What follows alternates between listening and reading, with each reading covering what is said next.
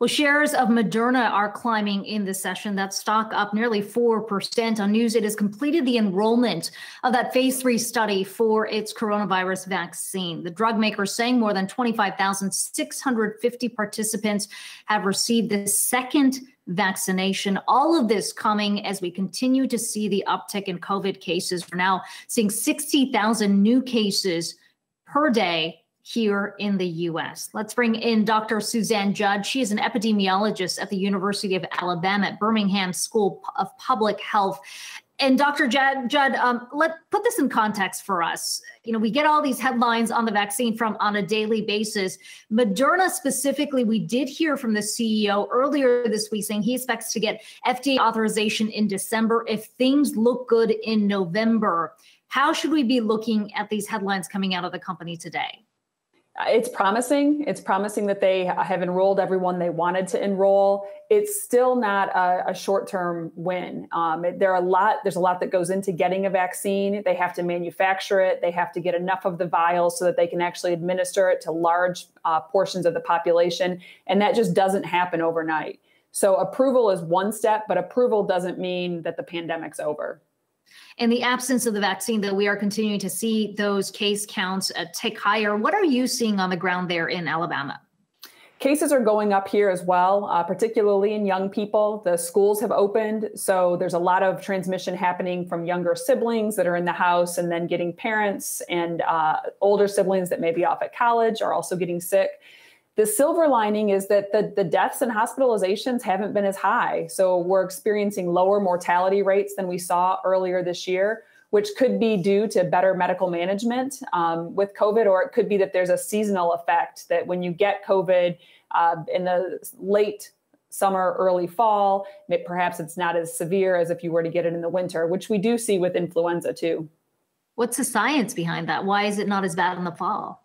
Typically there's great argument in the scientific community but a lot of people think it has to do with vitamin d. Vitamin d windows are open so air is being exchanged at higher rates um, for as it's coming in and out of the house. One of those two reasons typically are the reasons uh, people point to why the, the rates are lower in the fall you just mentioned the concerns about spread in schools. Um, we got new CDC guidelines sort of shifting the argument on who exactly would be considered a close contact. It used to be those who are within six feet in 15 consecutive minutes. The CDC has now said uh, if there is contact within 15 minutes over a 24 hour period, that would be considered a close contact. How does this shift the planning for schools or offices who have been operating on the CDC guideline?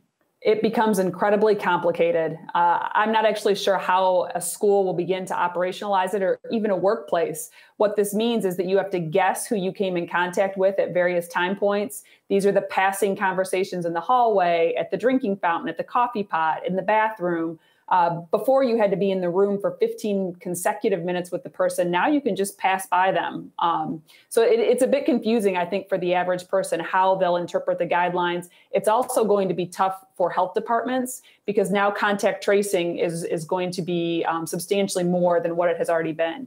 Each case will have more contacts uh, because of the change in timing. So, what does that mean on in terms of what, what more we know about the virus is is the chance of infection much higher than we expected? I mean what specifically does this guideline say about the ability for this virus to spread in a very confined space so that's a great question too. Um, CDC also changed their guidance about two weeks ago on whether or not COVID is airborne. They now say there is the potential that it can become airborne if people are singing or yelling or anything that's going to uh, involve a lot of um, air and, and and spit coming out basically at the same time. So that means that in close spaces like churches and um, choir concerts, there's the potential for COVID to spread much further beyond the six feet. Um, it can stay in the air longer than just 15 minutes if it's truly airborne. It just changes the way we have to think about managing it. As for the data, several epidemiologists have questioned why CDC did it. Um, the specifically the 15 minute rule comes from one study in a prison, and that's the only one that backs up the data. Um, it's probably out of an abundance of caution that they changed their guidance, but uh, it doesn't appear that COVID's any different than it was back in March. That new guidance, though, it has to be a big concern going into the colder months. And we've heard this from our guests every day who are saying that as the you know as we get to winter people are going to want to stay indoors more. They're going to be want to stay in a confined space. Um, you know when you look at where the numbers are the case counts are the positivity rates going up what's your biggest concern? We're still in october. We've got a long way to go for winter what are you going to be watching we do. We do. December is typically when influenza peaks, and we think COVID's going to be very similar to influenza. Uh, there's a good chance that cases will get so high that we will have to start slowing back down in terms of how much we're interacting with each other.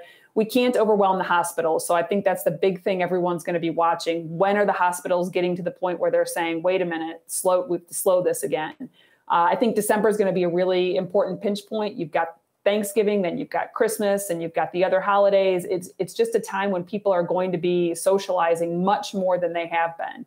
Um, so there's just that potential for spread that will then lead into January and February when we really see peak hospitalizations for the flu. Hey investors, Zack Guzman here. Are you interested in learning more about the markets and getting the latest financial news? Well, then click right here to subscribe to our Yahoo Finance YouTube channel. Get the latest up to the minute market analysis, big interviews in the world of finance, and information on how to manage your money every day wherever you are.